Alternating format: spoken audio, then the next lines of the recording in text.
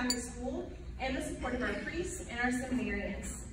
She has given of her time as an extraordinary, extraordinary minister of the Eucharist, has served the Holy Rosary School in a variety of capacities, and serves on our Diocesan Consultative School Board. Ms. Claire and her husband, John, helped establish a lasting legacy for Holy Rosary School through the Friends of the Rosary Fund, and supports many of our churches, our community projects, and lots of other uh, great nonprofits through the John and Claire Brady Foundation. Her love for her family and her schools and her parish and her support of all that she does in our community is inspirational.